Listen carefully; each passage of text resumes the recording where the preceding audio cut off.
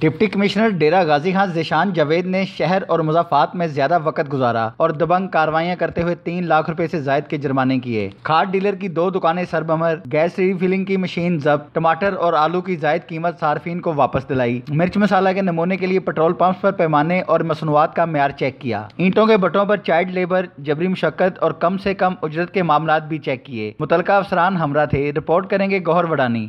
Deputy commissioner Dera Ghazi Khan Zeeshan Javed نے چوک چورہٹا پل dart اور دیگر مقامات پر کھاد کے معاملات چیک کیے۔ خرید و فروخت کا ریکارڈ مرتب نہ ہونے پر پانچ ڈیلروں کو تین لاکھ روپے سے زائد کا جرمانہ عائد کیا۔ انہوں نے کہا کہ کھاد کا مصنوعی بحران اور خود ساختہ نرخ برداشت نہیں کیے جائیں گے۔ کھاد کی فراہمی اور چھوٹے کاشتکاروں کو ترجیح دی جائے۔ سیلنگ توڑنے پر مقدمات درج ہوں گے اور دوبارہ کاروبار نہیں کرنے دیا جائے گا۔ ڈپٹی کمشنر نے سرو والی میں زگ زیگ ٹیکنالوجی فنکشنل نہ ہونے اور پرانی طرز پر اینٹوں کی پکائی کرنے پر بٹا مالکان کو موقع پر پچاس ہزار روپے جرمانہ عائد کرتے ہوئے ایک دن کی مہلت دی ہدایت پر عمل درآمد نہ ہونے پر بٹا سربمر کر دیا جائے گا۔ ڈپٹی کمشنر نے اسسٹنٹ ڈائریکٹر ماحولیات کو روزانہ پانچ سے زائد بٹے چیک کر کے کاروائی رپورٹ پیش کرنے کی ہدایت جاری کی۔ ڈپٹی کمشنر ذیشان جاوید نے سبزی منڈی میں خریداروں سے نرخ معلوم کیے۔ ٹماٹر بیس روپے فی کلو اور آلو کے پچاس روپے سے زائد وصولی پر اضافی رقم واپس دلاتے ہوئے جرمانے اور تھڑا منسوخ کرنے کے احکامات جاری کیے۔ ڈی سی ذیشان جاوید نے دھواں چھوڑنے والی گاڑیوں کو بند کرنے کے احکامات جاری کیے۔ انہوں نے مارکیٹوں میں پرائز کنٹرول ایکٹ کے تحت کاروائی کی۔ امپورٹڈ اور لوکل چینی کی دستیابی کے علاوہ اشیاء خرد و نوش کے نرخ چیک کیے۔ ڈپٹی کمشنر نے عوام سے بھی کہا کہ وہ سبزی منڈی اور مارکیٹوں میں خریداری کرنے سے قبل نرخ نامے چیک کر کے کنٹرول نرخ پر خریداری کریں۔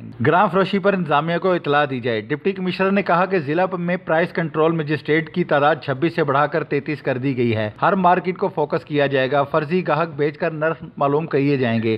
انہوں نے دکانداروں سے بھی کہا کہ وہ سرکاری نرخ پر اشیاء خرد و نوش فروخت کریں۔ ملاوٹ اور مصنوعی بحران برداشت نہیں کیا جائے گا۔ ڈپٹی کمشنر نے مختلف مقامات کا دورہ کرتے ہوئے پٹرول پمپس کے پیمانے اور پٹرولیم مصنوعات کا معیار چیک کیا۔ انہوں نے آگ پر قابو پانے کے آلات چلا کر چیک کیے۔ ڈپٹی کمشنر ذیشان جاوید نے روڈ کے پیچ ورک اور مفاد عامہ کے دیگر معاملات پر بھی ہدایت جاری کی ڈپٹی کمشنر نے گیس کی ری فلنگ پر جرمانے کیے اور مشینیں ضبط کرائیں۔ انہوں نے کہا کہ گیس کی ری فلنگ خطرناک ہے، دھماکوں اور آتش زدگی سے قیمتی انسانی جانیں ضائع ہو جاتی ہیں۔ انسانی جان اور املاک کا تحفظ حکومت کی اولین ترجیح ہے۔ ڈپٹی کمشنر نے کہا کہ کھلے مسالہ کی فروخت پر پابندی پابندی عائد کر دی گئی ہے۔ مخصوص پیکنگ، قیمت، تاریخ، تیاری اور مدت میعاد اور مدت میعاد درج کر کے فروخت کیے جائیں۔ ڈپٹی کمشنر نے مارکیٹوں سے مرچ مسالے کے نمونے لے کر پنجاب فوڈ اتھارٹی کو تجزیہ کر کے رپورٹ پیش کرنے کی ہدایت جاری کی۔ ڈپٹی کمشنر کو بتایا گیا کہ محکمہ تحفظ ماحولیات نے انسداد سموگ ایکٹ کے تحت چونتیس لاکھ پچہتر ہزار روپے جرمانہ چونتیس مقدمات درج کیے۔ وڈانی نمائندہ Lahore twenty four news, Dera Ghazi Khan.